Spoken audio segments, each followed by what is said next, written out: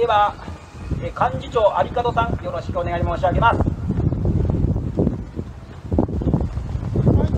あどうも、皆さん、お疲れ様です。ですね、皆さん、今日ね、本当にあの消費者がね、これだけのたくさんの方にご集まりいただき、本当にありがとうございました。まあ、岸田政権ですけどもね、今日はあの自民党の党大会ということでやっておりますけども、岸田首相が言ったあの異次元の少子化対策、これがね、全く、えー、こちら全く進んでおりません。功を奏しておりません。それもですね、あの増税においてね、日本人をね、どんどん貧しくする。そしてですね、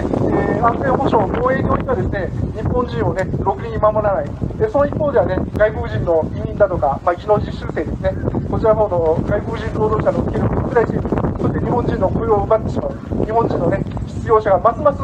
えー、職を奪われて就職できない状況になっている。ますますもってですね、少子化が、えー、解消されるどころかですね、異次元の少子化対策で解消されるどころか、ますますもって少子化が悪化する状況ではありませんか、皆さん。これね、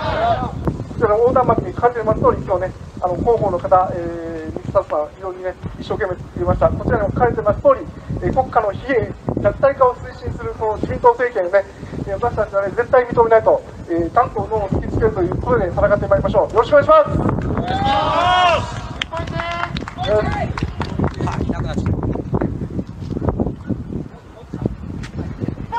はい、えー、ありがとうございました。